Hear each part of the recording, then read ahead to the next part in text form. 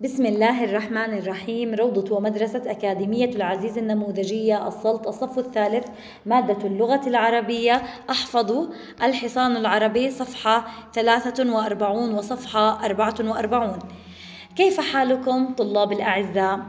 اليوم يا ثالث رح ننشد سويا نشيدة الحصان العربي. ماذا تشاهدون في الصورة التي أمامكم؟ أحسنتم حصان. من يقول لي يا ثالث؟ ما هو صوت الحصان؟ صهيل من يذكر لي يا ثالث صفات الحصان العربي؟ أحسنتم أصيل نبيل سريع قوي رشيق جميل تأملوا في الصورة جيدا نعيد صفات الحصان العربي أصيل رشيق جميل سريع قوي الحصان العربي يا ثالث هو رمز العروبة والأصالة والجمال. وكان الحصان العربي يستخدم من قبل الفرسان في المعارك ويسمى صوت الحصان يا ثالث صهيل. هيا بنا يا أحبائي ننشد سويا نشيدة الحصان العربي. الحصان العربي لا تسلني من أنا ملك الحسن أنا. الأصيل ابن الأصيل الحصان العربي موطن الفرسان ظهري أحمل البرق وأجري أنا أشعار صهيل. أنا زهو العربي لن تروا أجمل مني لن تروا أرشق مني. النبيل ابن النبيل الحصان العربي يلا ننشدها كمان مرة يا ثالث. الحصان العربي. لا تسلني من أنا ملك الحسن أنا.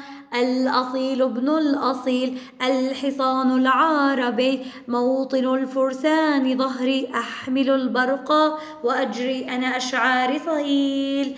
أنا زهو العربي لن تروا أجمل مني لن تروا أرشق مني. النبيل ابن النبيل الحصان العربي. أحسنتم يا ثالث. من يذكر لي اسم كاتب هذه النشيدة؟ أحسنتم سليمان العيسى. إذا الكتب هذه النشيدة الجميلة هو سليمان العيسى. هيا بنا نتعرف على أهم المعاني نشيدة الحصان العربي. ملك الحسن أنا. ما معنى الحسن يا ثالث؟ معنى الحسن الجمال. الأصيل ابن الأصيل. ما معنى الأصيل هنا؟ الشريف. موطن الفرسان ظهري. ما معنى موطن؟ مكان. أحمل البرق وأجري. ما معنى أجري؟ أركض. أنا أشعاري صهيل. ما معنى صهيل؟ هو صوت الحصان. أحسنتم يا ثالث. طيب يا ثالث مين يحكي لي أهم الأفكار الرئيسية الواردة في نشيدة الحصان العربي؟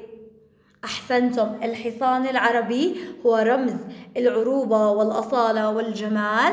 كان الحصان العربي يستخدم من قبل الفرسان في المعارك ويسمى صوت الحصان صهيل.